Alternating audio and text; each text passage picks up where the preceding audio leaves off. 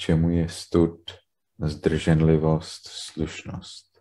Takže v buddhismu, v Theravádovém buddhismu, my se dočítáme v našich spisech o takzvané hiry a o tapa. A to jsou dva druhy.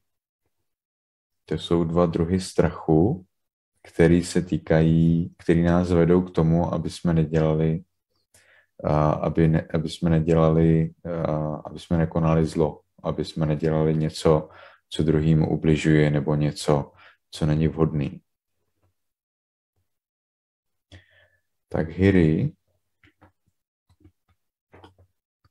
se radši podívám, abych to zase nesplet. Ono se to hrozně snadno splete, protože je to velice podobný. Jo. Tak uh, hiri je doslova stydlivost, stud, ale v tom smyslu, že ten člověk se stydí udělat něco, co druhýmu ublíží.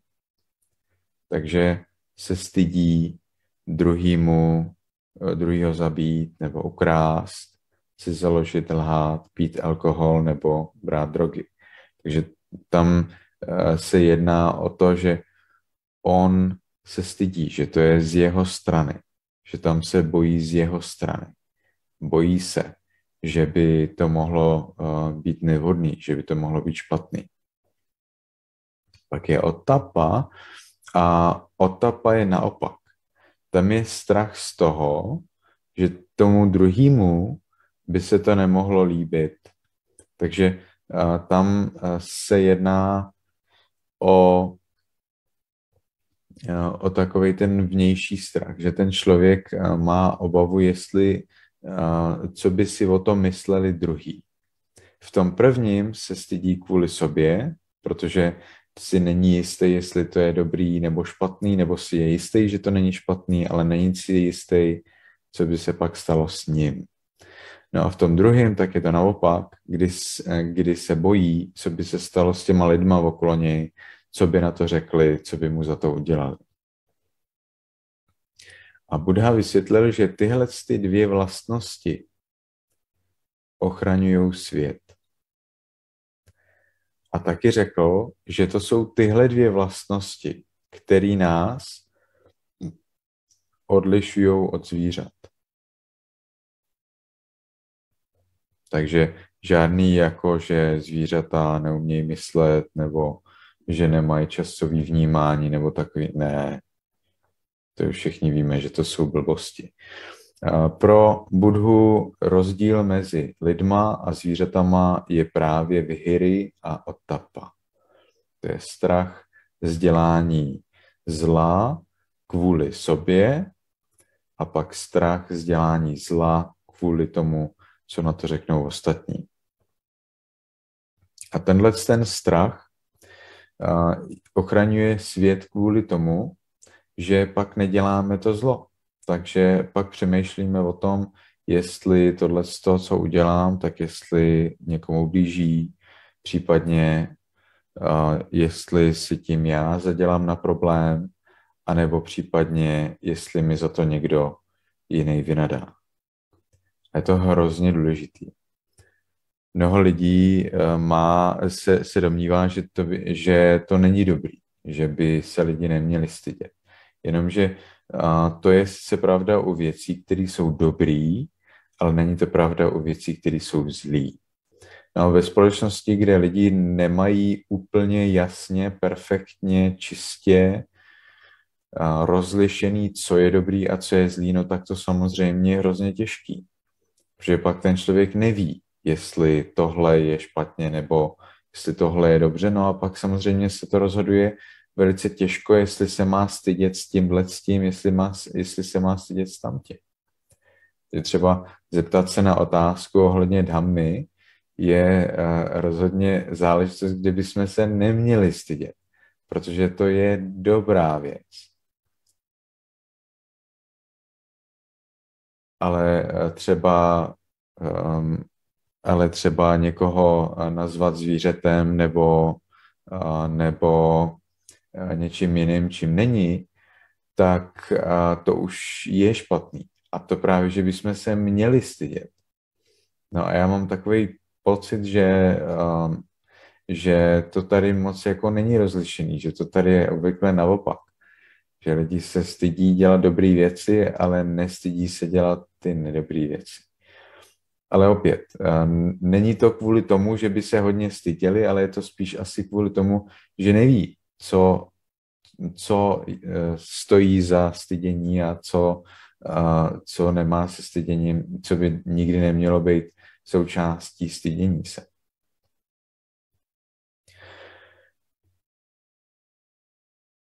Takže otázka je, k čemu je stud, zdrženlivost, slušnost. Takže to bylo o tom studu, ještě se pak dostanu k zdrženlivosti. To jsou vlastně tři otázky, protože to jsou tři věci, které eh, bychom v buddhismu rozlišovali jako úplně jiný témata.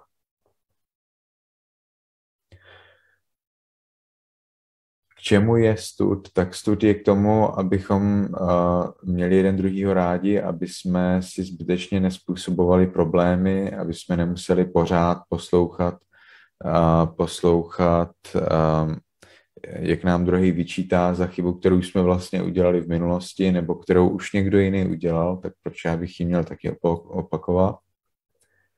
No a a, takže je to takový druh sebeobrany, nebo jak bychom to řekli, takový druh vlast, vlastního, vlastního bezpečí, který my si sami zařizujeme, aby jsme neměli zbytečně problémy. Tak pak je zdrženlivost. Tak zdrženlivost je úplně jiný, úplně jiný téma, protože stud se jedná, když se řekne stud, v buddhistickém uh, pojetí, tak se jedná o věci, které jsou zlí, že se stydíme dělat věci, které jsou zlí. Takže jakmile někdo si myslí, že stud se jedná, se týká věcí, které nejsou zlí, no tak to už pak není stud. A to už pak, to už bychom pak v buddhismu řekli hloupost. No, zdrženlivost. Tak zdrženlivost je jiná věc, protože zdrženlivost už se netýká jenom zlých věcí. Zdrženlivost se týká, je trošku hlubší, protože už se netýká jenom toho, co říkám, co dělám, ale taky se týká toho, na co se koukám, co poslouchám, co čichám, co chutnám, co pocituju a na co přemýšlím, o čem přemýšlím. Takže to je zdrženlivost. Zdrženlivost v buddhistickém pojetí je velice hluboká záležitost. A u mnichů, mniši jsou takovým jako představitelem, nebo řekněme vzorem zdrženlivosti, nebo by teda měli být. V tom smyslu, že když jdou třeba ven, tak se nekoukají doleva, doprava, samozřejmě na ulici můžou, ale když jdou, tak by se měli koukat jenom před sebe na zem takže nekoukají, kde co lítá, ale soustředí se na tu cestu a na, to svůj, na tu svoji chůzi. Zejména pokud jsou bosí, no tak je dobrý nápad se koukat, je na zemi, aby že ho nešlápli na, na, nějaký, na nějaký střep nebo, nebo do nějakého výkalu. No a to není jenom při Eh, při chůzi, ale, eh, ale je to taky při jezení, takže když mě jí, tak se kouká do almožní mísy a nekouká sem a tam. A eh, měch se taky vyvaruje poslouchání různých věcí, které by mu mohly narušit jeho praxi. Takže to vypadá, že za Budhovy doby byly nějaké možnosti, já si to teda moc nedovedu představit, chodit k hradbě a poslouchat, jak se ženy za hradbou smějí. Takže, na, tako, na, takže něco takového by taky mniši neměli dělat, jako chodit někam, kde by mohli jako poslouchat e, ženské hlasy a, a, a tak podobně. Takže to je zdrženlivost. Zdrženlivost už se netýká uh, dělání nějakého zla nebo dělání nějakých problémů, za který by mi někdo mohl uh, vynadat. Dokonce uh, se to netýká záležitostí porušení jakýhokoliv pravidla. Zdrženlivost se eh, v první řadě týká toho, co děláme se svými mysli. Kam chodíme na předměty svých smyslů. No a pak máme slušnost. Já to dneska teda jedu letem světem, ale pak pokud budou další otázky, tak můžu eh, jít eh, hlouběji. Tak slušnost slušnost si myslím, že je ještě hlubší než všechny, než ty předchozí dva. Protože ve slušnosti um, ve slušnosti hlavně jde o tu mysl. Že pokud ta naše mysl je slušná, no tak pak budou slušný i ty naše, i ta naše řeč, i ty naše činy. Takže ve zdrženlivosti, jak jste si všimli, zdrženlivost hlavně se jedná Eh, se týká těch našich činů, který ostatní nevidí, nebo který se předpokládá, že ostatní nevidí. Takže nekoukám tam, neposlouchám tamto, nesnažím se čichat tohleto a tak podobně. Ale slušnost už se týká v první řadě mysli. Jestliže já v mysli mám úctu k druhému, no tak pak uh, automaticky budu mít i v řeči, i ve svých činech. Pokud já tu úctu tam v mysli nemám, no tak už je hrozně těžký mít i v té řeči, i v těch činech. Takže jak já to vidím, my teda slušnost máme sice v buddhismu, ale není to jako záležitost, která by byla nějakým konkrétně pravidlem, že to vypadá spíš, že to je spíš popsaný jako vlastnost, kterou prostě některý lidi mají a kterou některý lidi nemají. Takže máme několik příběhů brahmínů, což jsou takový kněží v, v hinduismu, nebo řekněme v, v tom védickém náboženství, tak brahmíni, když viděli Budhu, tak se jim to nelíbilo, protože z jejich pohledu prostě Budha nepracuje, je holohlavej a ještě k tomu žije prostě v lese.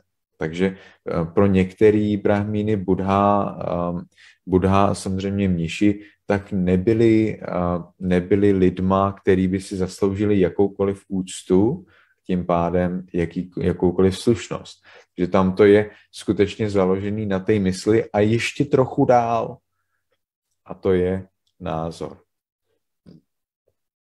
Takže je názor, pak je mysl, pak, je, pak jsou uh, slova a pak jsou činy. Že pokud ten názor je špatný, no tak samozřejmě budou, bude špatný i to myšlení a tím pádem i to uh, povídání a činění. Takže tyhle ty brahmíni na základě toho názoru, na kterým si lpěli, tak uh, se k Budhovi chovali velice neslušně. Bylo jich, jak to tak vypadá, velice málo, ale byli a Buddha cestoval na různý místa, takže statisticky by musel prostě se setkat s nějakýma lidma, kteří se k němu chovali neslušně. No a pak teda v buddhismu, že jo, většina věcí končí docela dobře, jako takovým tím happy endem, hlavně když se jedná o brahmíny. A v některých případech eh, ty brahmíni mluví k Budhovi, Budhovi vynadají, třeba řeknou, no, ty Budho, ty jsi ale vyvrhel. A teďka Budha se ho zeptá, a víš ty, co je vyvrhel? A ten brahmín mu řekne, je to nevím, tak mi to prosím vysvětlete. Což si teda moc nedovedu představit, že by se stalo, ale tak se to prej stalo. Buddha vysvětlil tomu brahmínovi, že vyvrhel není podle toho, kde se zrodil, jaký má, v jaký rodině se zrodil, ale je podle toho, jestli nezabíjí, nekrade, necizoloží, nelže, nepije alkohol, nebere drogy, no a podle toho, jestli se vymanil z, chtiv, z chtění, hněvu a zaslepenosti. No a ten brahmin to pochopil a měl z toho obrovskou radost, no a stal se budhovo následovníkem, budhovo žákem.